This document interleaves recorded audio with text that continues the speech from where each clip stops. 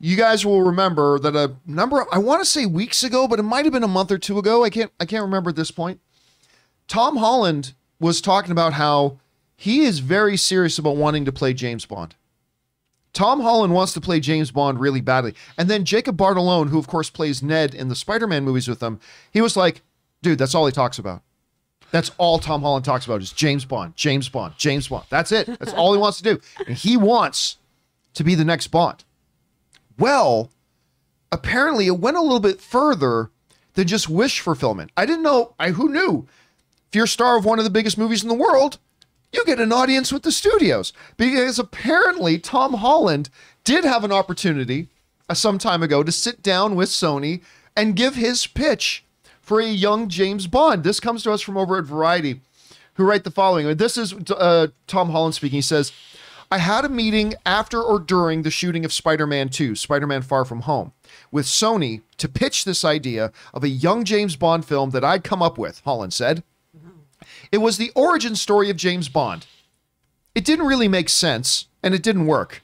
It was the dream of a young kid, and I don't think the Bond estate was particularly interested in it. I first of all, can I just say I love the self-awareness of him saying it didn't make sense and it didn't work. and the James Bond estate was pretty much just not interested in it whatsoever. Okay, couple thoughts on this. Number one, if you need to make a James Bond movie about a younger James Bond, like you want to go, I understand, like Casino Royale was kind of the origin story of James Bond. If you want to go even earlier than that, hey, Tom Holland's a decent pick. He's a good looking English fellow. He's a super talented dude. He's clearly very passionate about the subject matter.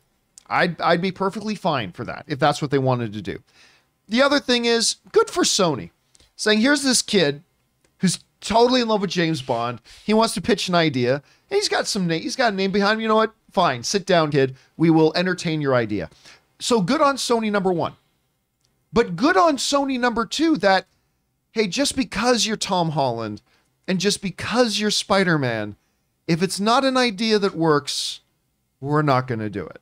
So, double kudos to Sony Studios for giving the kid uh, an audience and then also for turning it down if Tom Holland himself is saying it wasn't a very good idea. So, I think uh, I think this is great. Anyway, Rob, uh, you are the resident major James Bond fan here. And number one, let me ask you this: What would you think of a young let's break it up into a couple questions. What would you think about a younger James Bond story? If they did that, what would you think about Tom Holland playing it? And then what do you think about Sony actually giving the kid an audience? Well, I think that a, a young James Bond, an early story when he was in, say, the British Navy, for instance, could be quite interesting. Um, I would I would watch something like that that showed where his skill sets came from, why he was eventually tapped to go into MI6.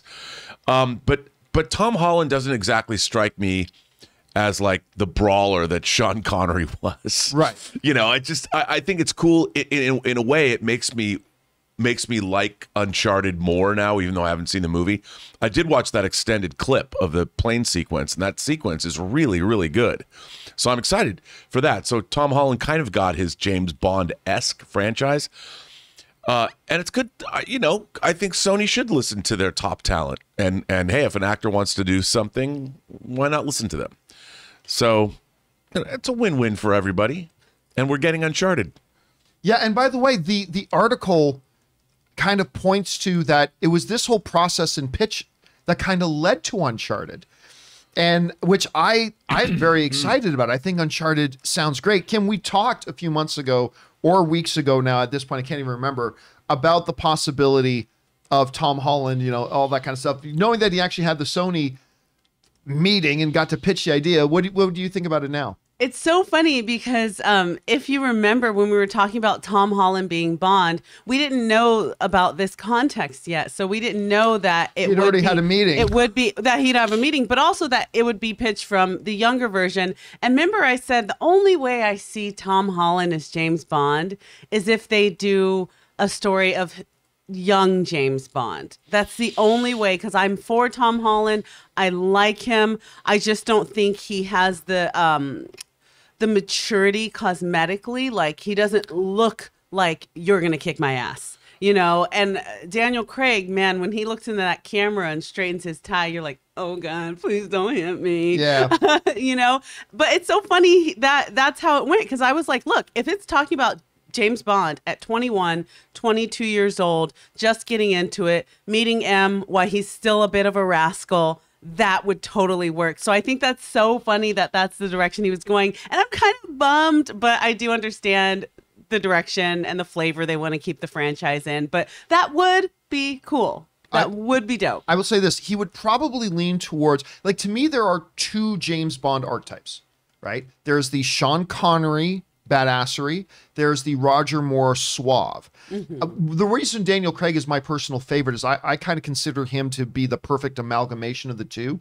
I think if he Tom Holland were to be a James Bond, I think he would lean more towards the Roger Moore st- template of Bond. I, I don't see like kind of like the way Pierce Brosnan did. Pierce Brosnan was a little bit more lean. I think he would go in that category. Whereas the Sean Connery, I would put more him, George Lazenby, you know, things like that. But I think he would go to that side. You know what the other thing is too? I was saying good for Sony on two fronts, giving the kid an audience and for turning it down.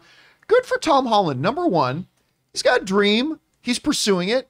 But number two, he's humble enough and self-aware enough to say, yeah, I didn't give them a good idea. it wasn't very good. Because a lot of celebrities today would go, F Sony. They don't know a good idea when they see it. But Tom Holland's like, yeah, my idea didn't make sense. And they turned it down. So good on him. But he And went for it like Hamilton, not not throwing not away, throwing my, away shot. my shot. It's just So, like his country. him. He's young, scrappy, and hungry. And he is not throwing away his shot. Guys, ladies and gentlemen, the question is for you. What do you think about this? The fact that Tom Holland actually got an audience with Sony to pitch being young James Bond. Maybe you think it would be a good idea. It led to Uncharted. Whatever you guys are thinking about it, jump down to the comment section below and leave us your thoughts.